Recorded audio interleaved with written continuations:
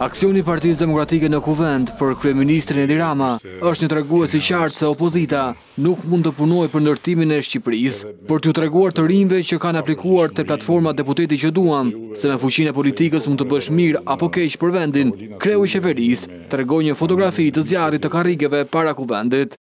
Është një zjarr i ndezur me kariket e deputetëve të zgjedhur në Kuvendin e Shqipërisë për t'u ulur në ato karrige dhe për të përfaqësuar ata që i çojnë atje. Kuptohet jo absolute, por relative, qëndron dhe ndarja sot midis nesh që përpiqemi të ndërtojmë, që përpiqemi të shërojmë, që përpiqemi të mbjellim dhe atyre që shkatërrojnë Plagosin, shkulin, djegin. Teksa vlerësoi reformat e ndërmarra, theksoi objektivin për anëtarësimin e plotë të Shqipërisë në Bashkimin Europian deri në vitin dy mijë e tridhjetë. Shqipëria që unë dua që së bashku ne të kemi në dy mijë e tridhjetë, është dita me diell plot, krahasuar me këtë që është një Shqipëri në agim. Dhe dita me diell plot do të vijë kur Shqipëria të ulet në tryezën e Bashkimit Europian si një vend Shtet i barabartë mes të barabartësh. Aspirantëve për deputetë në zgjedhjet e vitit dy mijë e njëzet e pesë, Rama i paralajmëroi edhe për paragjykimet që do të kenë në momentin që do të bëhen pjesë e skuadrës socialiste.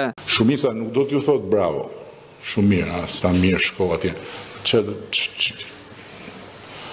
Të ka lënë mendja të shkosh të merresh me ata horra maskarej, hajdutë, kriminelë, të droguar etj etj. Kryeministri, theksoi rritjen ekonomike që ka pësuar vendi gjatë qeverisjes së tij, duke shtuar se tashmë një vëmendje të veçantë do u jepet pensionistëve.